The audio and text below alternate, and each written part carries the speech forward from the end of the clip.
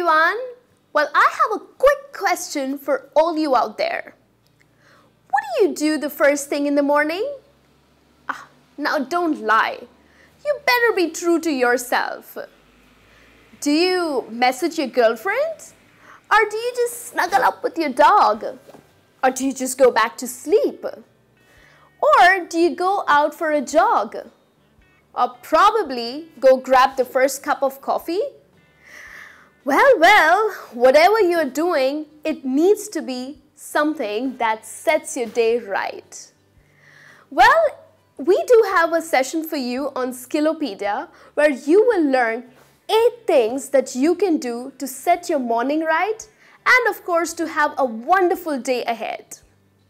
Well, it's easy to set a positive and productive tone if you do these things perfectly. So which are these key things? Well, watch the full video on Skillopedia, the place to learn skills for the real world.